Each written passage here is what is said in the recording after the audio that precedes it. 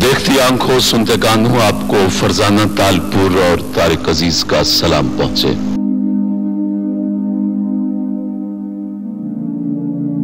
इब्तदा है रब्बे जलील के बाबरकत नाम से।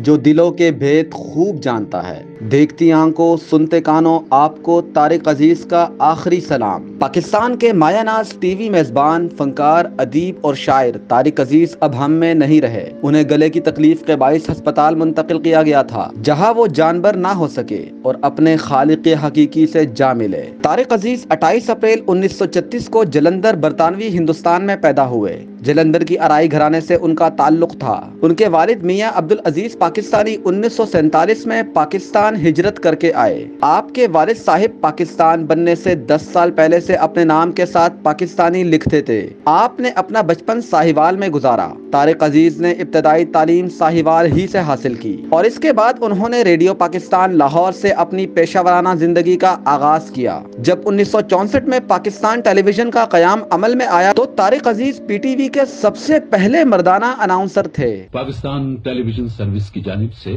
तारिक अज़ीज़ आपसे मुखातिब है। ताहम 1975 में शुरू किए जाने वाले उनके स्टेज शो नीलाम घर ने उनको शोहरत की बुलंदियों पर पहुँचा दिया।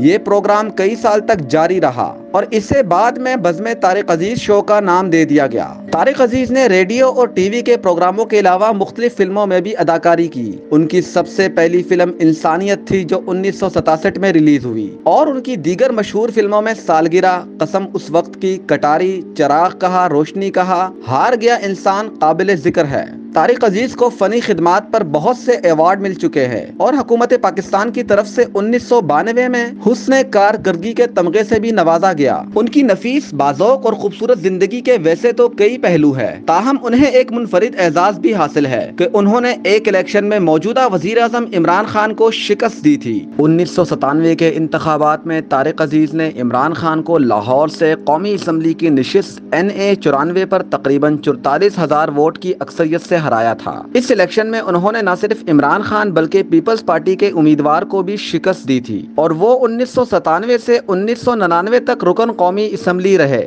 इंतकाल के वक्त तारिक अज़ीज़ की उम्र चौरासी बरस थी।